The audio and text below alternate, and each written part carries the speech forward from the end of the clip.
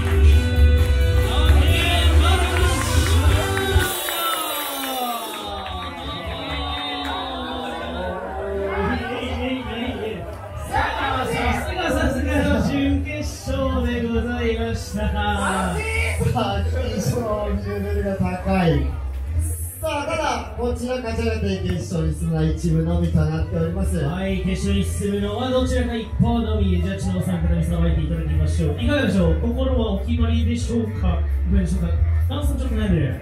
ちょっと悩んでる。あこれは